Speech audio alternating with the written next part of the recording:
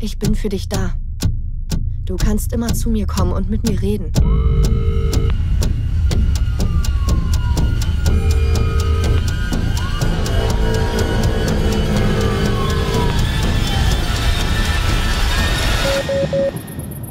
Adam, wo steckst du eigentlich? Ruf mich bitte zurück.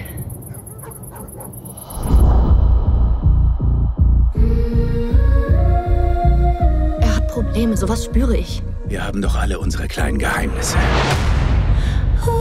Ich glaube, dass sie uns alle etwas verheimlichen.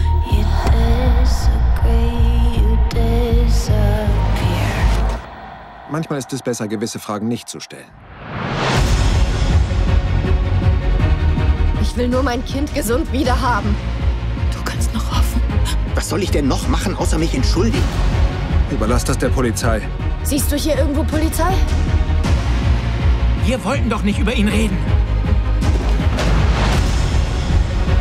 Er ist auch ein Verdächtiger. In diesem Moment schwor ich mir, ihn immer zu beschützen.